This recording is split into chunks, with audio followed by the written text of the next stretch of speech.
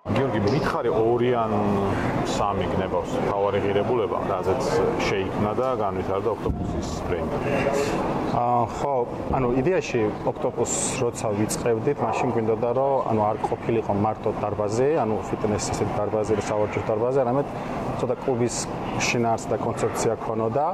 და ეს ყველაფერი ყოფილიყო ასახული თვითონ სახელწოდებაშივე. და ძალიან დიდი ხანი ვიფიქრე, ძალიან დიდი ხანი მქონდა რაღაც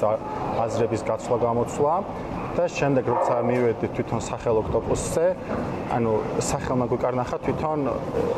ბრენდის ღირებულებები რა უნდა ყოფილიყო. ანუ რას გულისხმობ, რომ ოქტოპუსი არ არის მარტო რა ფეხათ არის ითარგმნება, ეს პირიქით იწერება Kate და არა City და იყოფა ზოგადად ამ სამ ნაწილად, okay, თოკ და ას. რაც ღირებულებაც გვინდა რომ ну ესეთი სურვილი გქონდა რომ ღირებულებები ყოფილიყო ამ სამ სახელში რაღაცად ინტეგრირებული. ანუ ოკეი გულისხმობს რომ კარგად უნდა ვიქცნოთ თავი თოპ იმიტომ რომ სპორტთან არის დაკავშირებული და შესაბამისად შენი შესაძლებლობის მაქსიმუმი ზედა ლეველი რო გამოავლინო და რადგანაც ოქტოპუს ფიტნეს კლუბი ანუ კლუბის კონცეფცია აქვს ჩვენ one of us ხო ერთ-ერთი ჩვენიანი და ეს სამი არის ის ძირითადი ღირებულება რასაც მუდამ ვცდილობთ რომ ოქტოპუსმა მიაწვდინოს თავის მომხმარებელსაც და ზოგადად ბრენდიც იყოს ასოცირებული